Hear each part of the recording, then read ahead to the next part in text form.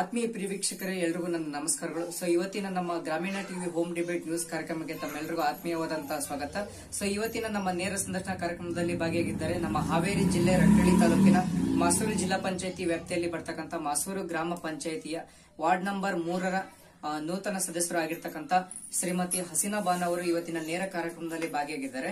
So ಇವರ ಒಂದು ಆಡಳಿತ ಆಡಳಿತದಿಂದ ಮುಂಬರ್ತಕ್ಕಂಥ ಐದು ವರ್ಷದಲ್ಲಿ ಈ ಒಂದು ಮೂರನೇ ವಾರ್ಡಿಗೆ ಸಂಬಂಧಪಟ್ಟ ಸಂಬಂಧಪಟ್ಟಂಗೆ ಕೆಲಸ ಕಾರ್ಯಗಳನ್ನ ಮಾಡಿಬಿಟ್ಟು ಈ ಒಂದು ಮೂರನೇ ವಾರ್ಡನ್ನ ಯಾವ ರೀತಿ ಬದಲಾವಣೆ ರೂಪದಲ್ಲಿ ತಗೊಂಡ್ಬರ್ಬೋದು ಹಾಗೆ ಇವರಲ್ಲಿರ್ತಕ್ಕಂಥ ಯೋಜನೆಗಳು ಯಾವ ರೀತಿ ಇದಾವೆ ಹಾಗೆ ಈ ಒಂದು ಈ ರಾಜಕೀಯಕ್ಕೆ ಬರಲು ಮುಖ್ಯ ಕಾರಣ ಏನಿರ್ಬೋದು ಅನ್ನೋದನ್ನ ಸಂಪೂರ್ಣವಾಗಿ ನಾವು ಅವ್ರ ಮೂಲಕನೇ ತಿಳಿದುಕೊಳ್ಳೋಣ. ಬನ್ನಿ ವೀಕ್ಷಕರೇ. ಮೇಡಮ್ ನಮಸ್ತೆ. ನಮಸ್ತೆ. ಓಕೆ. ಮೊದಲೇದಾಗಿ ನಮ್ಮ ನಿಮ್ಮ ಮಾತುಗಳನ್ನು ನೋಡೋಕ್ಕಿಂತ ಮೊದಲು ನಿಮ್ಮ ಕಿರು ಪರಿಚಯ ನಮ್ಮ ಗ್ರಾಮೀಣ ಟಿವಿ ವೀಕ್ಷಕರಿಗೆ. ನಿಮ್ಮ ಹೆಸರು? ನಮ್ಮ ಹಸಿ ಹಸಿನ ಬಾನು. ಹಸೀನಾ ಬಾನ್ ಅವರು. ಎಷ್ಟನೇ ವಾರ್ಡಿಂದ ಆಯ್ಕೆ ಆದ್ರಿ? ಮೂರನೇ ವಾರ್ಡ್ ಮೂರನೇ ವಾರ್ಡಿಂದ ಆಯ್ಕೆ ಆದ್ರಿ. ಯಾವ ಕ್ಯಾಸ್ಟ್ ಇಂದ ಆಯ್ಕೆ ಆದ್ರಿ? ಆ ವರ್ಗ. ಆ ವರ್ಗ ಮಹಿಳೆಯಿಂದ. ಯಾವ ಪಕ್ಷದಿಂದ ಆಯ್ಕೆ ಆದ್ರಿ? ಓಕೆ ಅವಿರೋಧವಾಗಿ ಆಯ್ಕೆ ಆಗಿರೋದು. ಓಕೆ ಎಷ್ಟು ವರ್ಷಗಳಿಂದ ರಾಜಕೀಯದಲ್ಲಿ ಇದರ ಐದು ವರ್ಷ. ಐದು ವರ್ಷ. ಇದೆ ಅಂದ್ರೆ ಈಗ ಸ್ಟಾರ್ಟ್ ಸ್ಟಾರ್ಟ್ ಆಗಿರೋದು ಓಕೆ. ಓಕೆ ಈ ರಾಜಕೀಯಕ್ಕೆ ಬರಲು ಕಾರಣ ಏನ್ ಮೇಡಮ್ ಜನಕ್ಕೆ ಸೇವೆ ಮಾಡಬೇಕು ಜನಕ್ಕೆ ಸೇವೆ ಮಾಡ್ಬೇಕಂತ ಬಂದಿದ್ದಾರೆ ಓಕೆ ತಾವು ನೂತನವಾಗಿ ಸದಸ್ಯರಾಗಿದ್ದೀರಾ? ಇನ್ ಮುಂದೆ ಏನೇನ್ ಕೆಲಸ ಮಾಡ್ಬೇಕಂತ ಅನ್ಕೊಂಡಿದ್ರ ನಮ್ ನಮ್ಮ ಮೂರನೇ ವಾರ್ಡಿಂದ ಎಲ್ಲ ಕೆಲಸ ಬಗೆಹರಿಸ್ಬೇಕಂತ ಮಾಡಿದ್ದೇವೆ. ಬಗೆಹರಿಸ್ಬೇಕಂತ ಮಾಡಿದ್ದಾರೆ.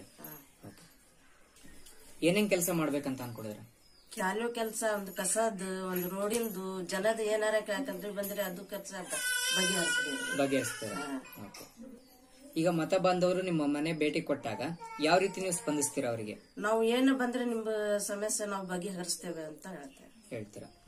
ಓಕೆ. ನಿಮ್ಮ ಒಂದು ವಾಡಿ ಸಂಬಂಧಪಟ್ಟಂಗೆ ಈ ಮುಖ್ಯವಾಗಿ ಏನೇನು ಸೌಲಭ್ಯಗಳು ಬೇಕು ನಿಮಗೆ? ನಮ್ಗೆ ಕಾಲುವೆ ಬೇಕ್ರಿ ರೋಡ್ ಬೇಕ್ರಿ ಬೀದಿ ಲೈಟ್ ಎಲ್ಲ ಅದು ಹಾಕಿ ಇದು ಮಾಡ್- ಮಾಡ್ಬೇಕ್ರಿ. ಮಾಡ್ಬೇಕಂತ? ನಿಮಗೆ ರಾಜಕೀಯದಲ್ಲಿ ಗುರುಗಳಂತ ಯಾರಾದ್ರೂ ಇದಾರ ಮೇಡಮ್ ಬಿ ಸಿ ಪಾಟೀಲ್ರು ಮೋದಿ ಪಾಟೀಲ್ರು. ಓಕೆ.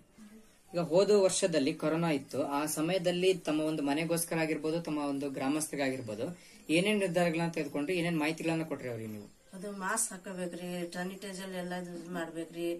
ಅದು ಎಲ್ಲ.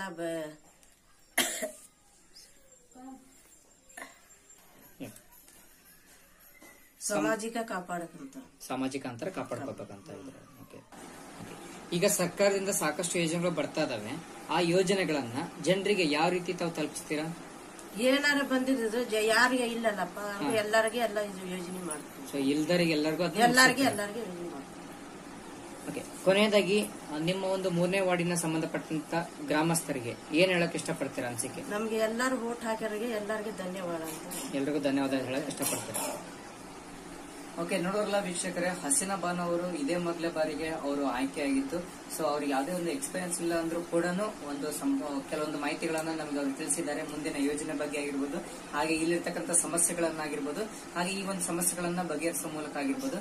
ಸೊ ಈ ಒಂದು ಮುಂದಿನ ಐದು ವರ್ಷ ದಿನಗಳಲ್ಲಿ ಇವರ ಒಂದು ಕಾರ್ಯವೈಶಲ್ಯದಿಂದ ಈ ಒಂದು ಮೂರನೇ ವಾಡಿಗೆ ಸಂಬಂಧಪಟ್ಟಂಗೆ ಯಾವ ರೀತಿ ಕೆಲಸ ನಡೀಬಹುದು ಹಾಗೆ ಈ ಒಂದು ಮೂರನೇ ವಾಡಿಗೆ ಸಂಬಂಧಪಟ್ಟಂಗೆ ಇರ್ತಕ್ಕಂಥ ಸಮಸ್ಯೆಗಳನ್ನ ಯಾವ ರೀತಿ ಅವರು ಬದಲಾವಣೆ ರೂಪದಲ್ಲಿ ತಗೊಂಡ್ಬರ್ಬೋದು ಅನ್ನೋದ್ರ ಮುಂದಿನ ಐದು ವರ್ಷ ದಿನಗಳಲ್ಲಿ ಕಾಯ್ದು ನೋಡೋಣ. ಸೊ ಇಷ್ಟೊತ್ತರೆಗೂ ತಮ್ಮ ಒಂದು ಮಾಹಿತಿಗಳನ್ನ ನಮ್ಮ ಗ್ರಾಮೀಣ ಟಿವಿ ಮೂಲಕ ಹಂಚಿಕೊಂಡಿದ್ದಕ್ಕೆ ನಿಮಗೆ ಪೂರ್ವಕ ಧನ್ಯವಾದಗಳು.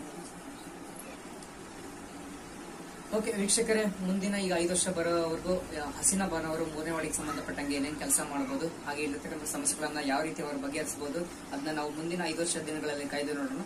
ಸೊ ನಿರಂತರ ಸುದ್ದಿಗಾಗಿ ನೋಡ್ತಾ ಇರಿ ಗ್ರಾಮೀಣ TV channel, world two G TV cameraman Ganesh ಜೊತೆ, ರಿಪೋರ್ಟರ್ ಅರುಣ್ ಕುಮಾರ್. ಸದಾ ಮುಂದೆ ನಿಮ್ಮ ಆಶೀರ್ವಾದದೊಂದಿಗೆ ಗ್ರಾಮೀಣ ಟಿವಿ.